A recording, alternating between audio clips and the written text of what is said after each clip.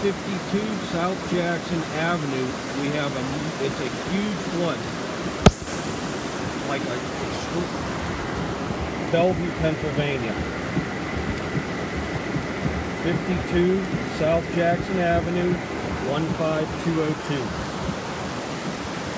Yes. Jamie Broniszewski. Jamie. I'm sorry? 412-761-9330.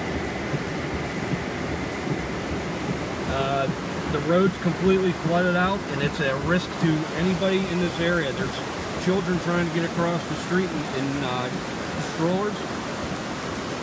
I believe so, down at the bottom of the hill, yes.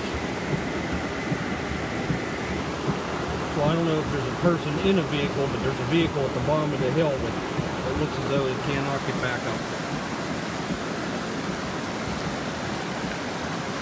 I can't see. I'm sitting in about it's about two feet of water right now, I'd say.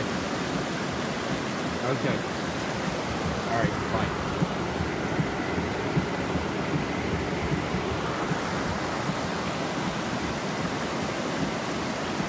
Get that videotaping, Roy!